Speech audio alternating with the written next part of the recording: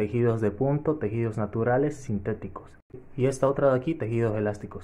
¿Cómo están amigos de YouTube? Bienvenidos otra vez al mundo de la costura. En este video vamos a estar viendo los diferentes tipos de agujas que existen para la máquina familiar o casera, ¿no? Para no hacerlo muy largo el video, en la máquina casera o familiar, los principales tipos de agujas son tres. La aguja universal, la aguja punta de bola y la aguja punta cortante. La aguja universal es para tejidos planos, o sea, tejidos que no estiran para ningún lado. La aguja punta de bola es para tejidos de punto o tejidos elásticos. Y finalmente la aguja de punta cortante es para cuerina, cuero o tejidos sintéticos. Pero de estos tres tipos de aguja, los más usados son la aguja universal y la aguja punta de bola, ¿no? Y son justamente esas dos las que tengo aquí. Tengo aquí la aguja universal y la aguja punta de bola, que son las más usadas. Ahí pueden leer universal, ¿no? El código 2020.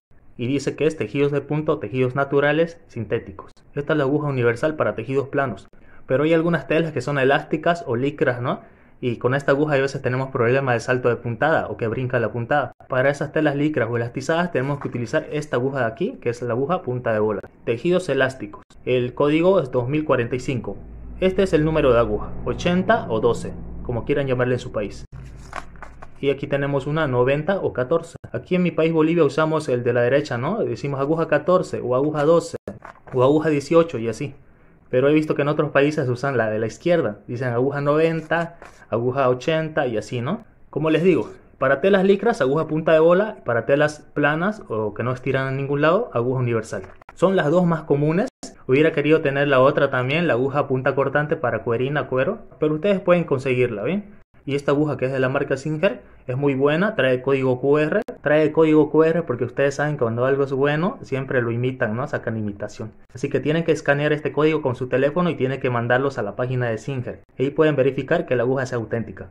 Para eso es el código QR. Bueno, pues amigos, eso es lo principal, las tres principales agujas. Aquí tengo solamente las dos más usadas, no pude conseguir la otra, pero también existen otras agujitas especiales, como es el caso de la aguja doble o gemela. Para las personas que no sabían, la máquina casera puede coser con dos agujas y sale muy bonito. Si quieren ver el video donde les enseño cómo se usa la aguja gemela, pueden verlo aquí en la descripción, voy a dejarles el enlace, ahí pueden verlo.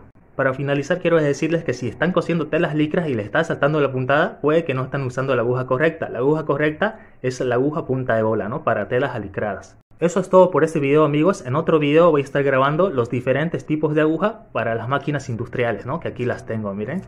Si quieren verlo no se olviden suscribirse y activar la campanita de notificaciones que lo voy a estar grabando el día de hoy también. Yo soy José Antonio y esto es el mundo de la costura.